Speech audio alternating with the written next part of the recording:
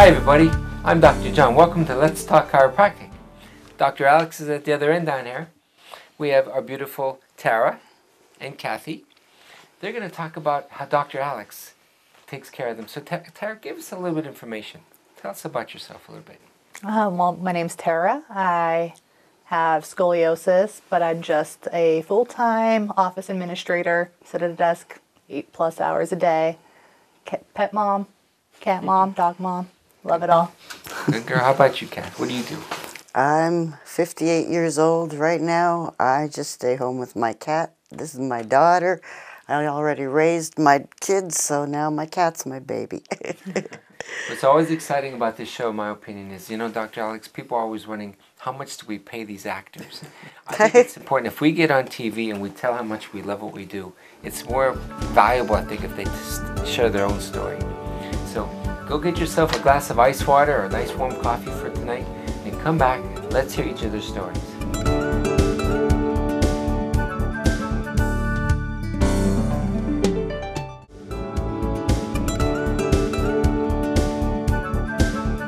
Hi folks, welcome back again to Let's Talk Chiropractor. We're going to talk to Tara first tonight if we can. So Tara, give us a little history. What first brought you to see Dr. Alex? What first brought me here was my mom was originally seeing Dr. Alex. She recommended me due to my scoliosis, said it would probably be something that I wouldn't want to look into. And that is how I found myself here today. Dr. Alex, if it's okay to ask you, some patients watching probably don't know what scoliosis is give a brief explanation of what is scoliosis. Right, so when we have scoliosis, there's two groups, and people will get lost in the diagnosis sometimes. But the functional scoliosis is this is when you see a teenager who, because of their posture, they start to get a lateral, sideways bending of the spine. But if it's just functional, that means we can change it real easily just with postural stuff. Now, what you have going on is where there's a structural. Your scoliosis is there no matter how well you behave. It's going to be there. And once we hit 25 years old, that's the point of no return. This scoliosis will be with you your whole life, so how do we deal with it? How's your posture been, Tara? Uh, I believe my posture's been actually really well. I Good. feel like I've had a lot of improvement, more mobility, more ease of just sitting correct, which is definitely a plus. I've had patients call me in the past and they'll say, because I have scoliosis, I don't think I should see a chiropractor. My doctor has told me not to go or I'm afraid to go. Mm-hmm. Give people who've never been to a chiropractor, who have scoliosis right now, give them an idea. What does an adjustment feel like by Dr. Alex?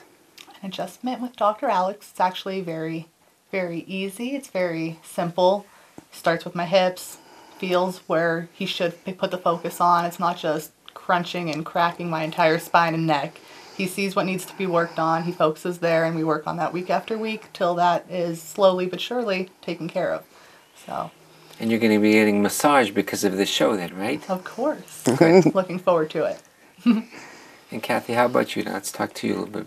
Did you, you? I guess you first came under Dr. Alex's mm-hmm. care, and then you got your daughter to come. Yes. Why did you first see Dr. Alex? Because in the summer, the beginning of the summer, I slid in the mud and both my legs went out in different directions and messed up my hips somehow, and I couldn't even barely walk. Do you remember way back then you thought that maybe you needed a new mm-hmm. right hip replacement? Yes. So a lot of people watching the show, yes. they, they get doc- confused, Dr. Alex. Like, if the pain is on my hip, yeah, we work on what we call a sacroiliac joint. I always try to make the connection. If the back's in alignment, it takes pressure off the hip, though. Mm-hmm. So, so Dr. Alex never really worked on your hip socket but he would adjust your right sacroiliac yes. joint though, right? What is the adjustment like for the viewers? Oh, it's uh, basically, yeah, he just checks to see if the hip's even or not, and if it's out of place, he gets it back. I feel amazing. Before I was coming to him, I could barely walk two blocks. Now I'm back to taking my walks and doing good. You, know, you could ask Kim, Alex, I, I never get tired of hearing what she just said. You know, there are a thousand people out there that could barely walk. The doctors are telling them it's arthritis. Take your pills. I'm not against pills at times, but I, I love as a chiropractor, even after all these years, getting people in alignment and seeing that they're much more functional. Mm-hmm. You know, we're going to be later showing you. Dr. Alex is going to adjust each of them. So when, when she says I'm level, A chiropractic patient knows what she's talking about. a non-chiropractic patient probably mm-hmm. thinks maybe your head was not straight or something. You know, so we're going to adjust each of them so people can see what an adjustment is like, even with scoliosis. Okay? Okay, folks, let's wrap up for the first segment. We're going to talk in the second segment more about different things concerning scoliosis and maybe how maybe it's a little bit different to adjust them. So again, go get a nice glass of ice water and come right back.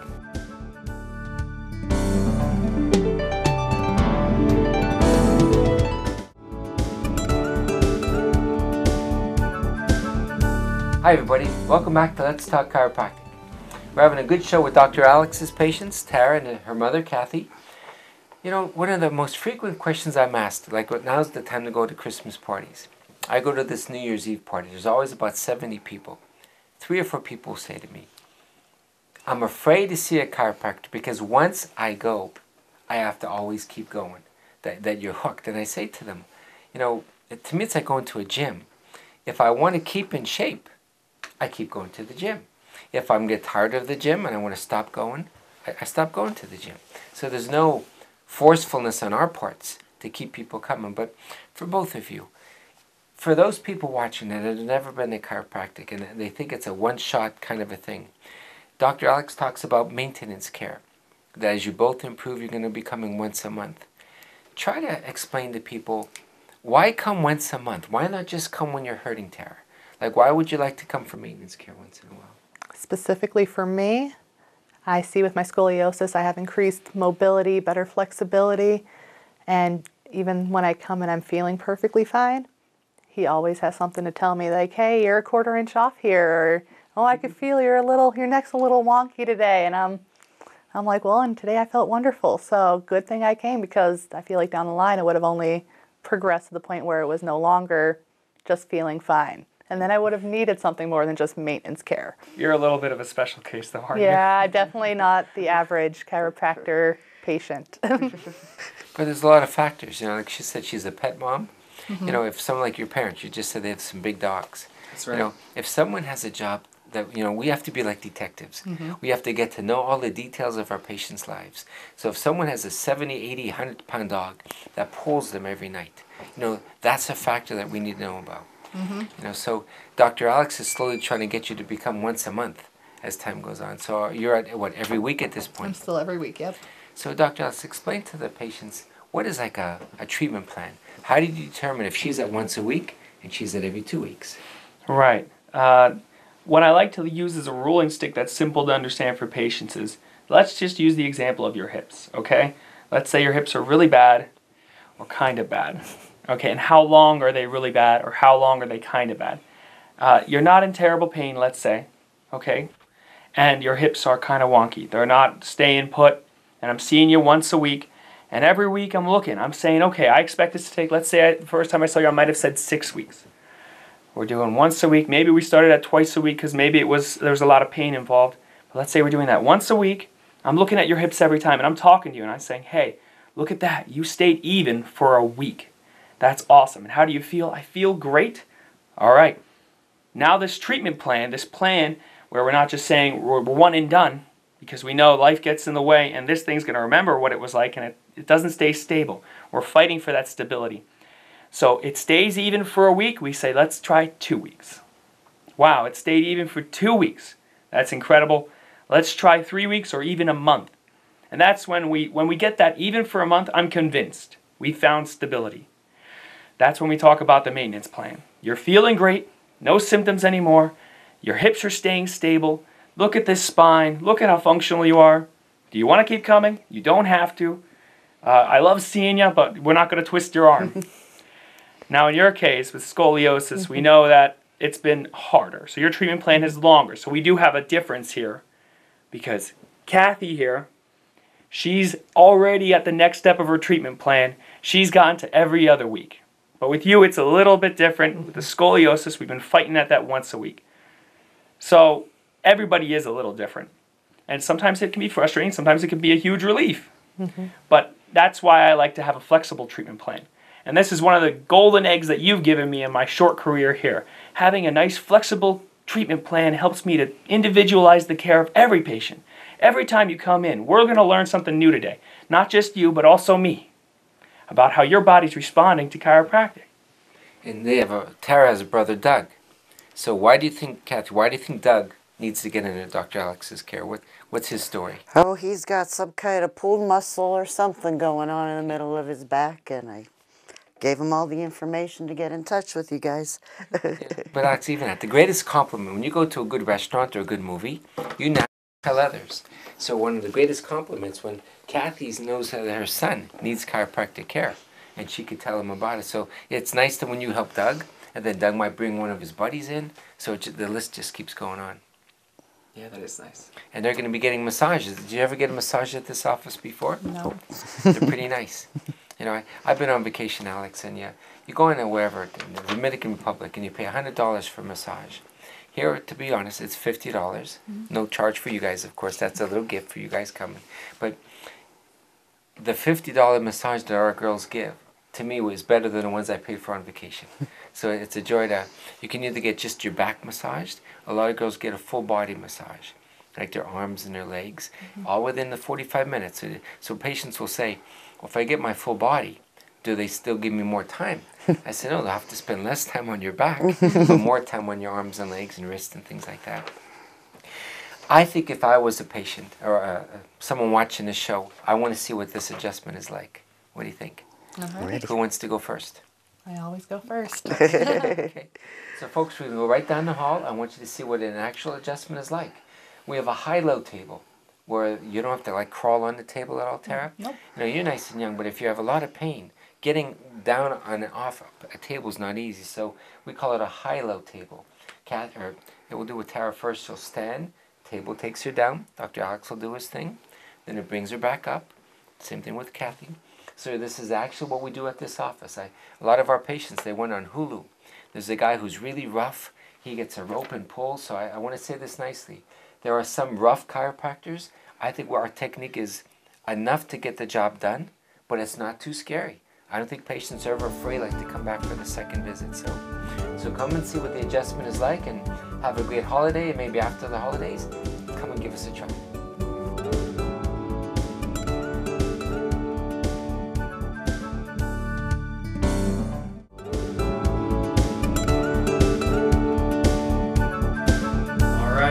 Got Tara here. She's ready for her appointment. Now, as is tradition with these two, Tara always goes first. I think we're building up the nerve here for Kathy, right? we'll go face down. Now, last time I saw you we were about a quarter inch off. Mm-hmm.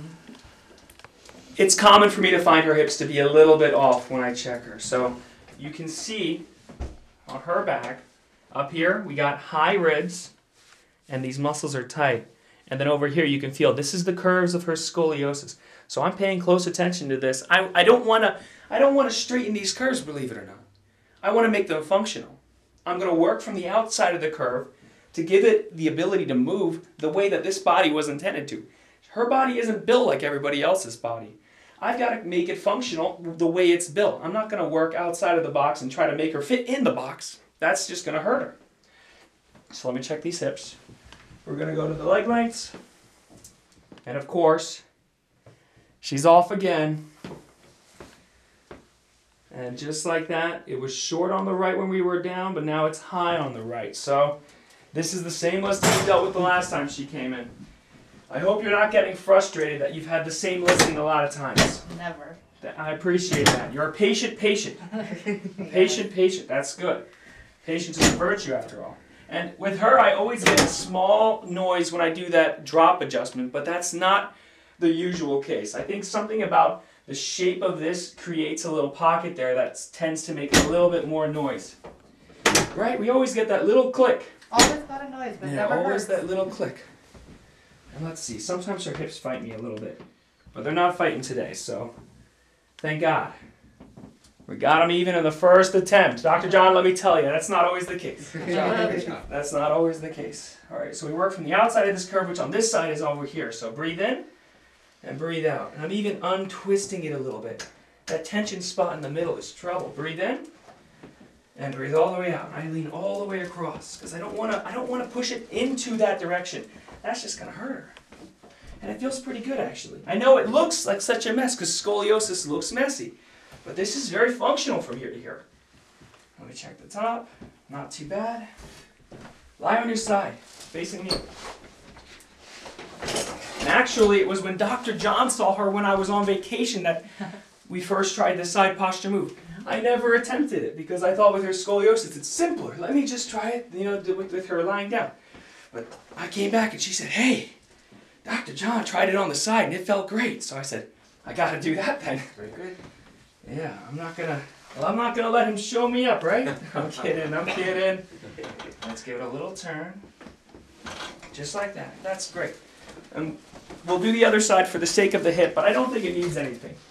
When I get them even using the drops, there's no need for this. But I sometimes that joint's got such an irregular shape, it just falls in every once in a while. So just like that, and didn't need anything today. We'll go face up. You used to have migraines too, didn't you? Yes, very frequent. At least two times a month. I have not had a migraine in at least four or five months. Not even a slight headache. That's great. That's Good beautiful. job, you too. And you know that was my introduction to chiropractic. And I had no idea it was even related. I know it's hard to believe. I It's assumed pain it in my was. head, right? I assumed it was sitting at a computer all day, and Well, it kind of was. We'll relax as best we can. Yeah, just like that. Little, little noise, right? Yeah. You can hardly hear it, but that's all it takes. It doesn't take a whole ton of force. We relax as best we can, pretending the world's not watching. Thank you. Good job. Good job. All right, and that's it for you. Wonderful. And this is how it would be a normal appointment. We don't do them with one waiting back there. They're a family. I keep them together. No need to do it separately. So we'll switch. Good? good, perfect. Yeah, we're all together. Mm-hmm. And how are we doing today, by the way? I'm, I'm betcha I'm even. Yeah, you bet you're. You've been doing pretty good Yeah, recently. it feels good. You're getting towards the end of your treatment plan, which is a beautiful thing. I love that part of the treatment plan. We'll get there one day. I'm Being a patient. to it. You're being a patient patient. Gotta trust the Okay. process. That's right, trust the process. Alright. Let's feel. And there is a little bit of a squiggle, but scoliosis by definition has to be at least, at least 10 degrees. And I bet you if we took an x ray, there'd be a little bit of a turn, but there's not that much. So genetically, there was some of this from your mother, but it's not, you know, some of it is just you. so you here, a little bit of a squiggle, but not as much of an issue. And I wouldn't call it scoliosis. And she's right. What do you know? Way to go, Cat. She's even. And look at that. See how easy these knees move when she's even? No pain at all, right? No. That's awesome. Now, if I can't remember your listing without my notes. So normally I would give this a little reinforcement, but I hate to put it in the wrong direction. So we'll leave it alone for now. Unless, do you remember, is it usually your right hip then? Yep. All right, and you know what? Now that rings a bell. So we will adjust just a little stretch, and you'll see how gentle. I'm even putting my knee on it to take a little bit of the force off, because I just want to stretch it. I would never want to overdo it. I don't want to over adjust anybody. That'd be ridiculous. It's like uh, when you see those crazy contortionists. That's overstretched. We don't need to do that. And uh, I just make sure that everything still lines up when we're done. Right? Because maybe I'm paranoid, but I always want to check. All right, breathe in and out. Yeah, good. Breathe in and all the way out. Yeah, a little movement. Not too bad though. And when I find tension here, Kathy, that's probably just the stress in your life. There's fascial lines. This is the envelopes that hold your muscles. They cross here. So if I find something right there, it's not that big a deal. I could probably find that on 9 out of 10 people, something like that. Mm-hmm. Yeah, something like 9 out of 10 people. That little spot in the middle. You'd have to be pretty relaxed. And nowadays, 2021, almost 2022, it's hard to get relaxed that much. Mm-hmm. I'm just bouncing out the top. All right. So let's flip you. We'll check that neck. Actually, do I normally crack your neck or do I do it with the drops, Kathy? No, you usually crack it. All right, we'll flip.